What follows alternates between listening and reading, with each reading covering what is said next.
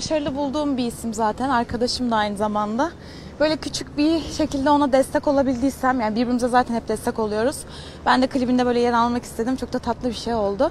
Çok mutluyum. Bugün de Harbiye'deki konserini izlemeye geldim. Yanlarına gideceğim. Bu Konser arada başlamadan yaşayan en güzel kadın seçildiniz. Evet. Yani evet, bir- aynı listede aslında ama Evet birazcık e, garip, enteresan şeyler. Güzellik benim için öyle çok da şey bir şey değil. O yüzden bir şey diyemiyorum. Çok teşekkür ederim. İyi akşamlar. Görüşürüz.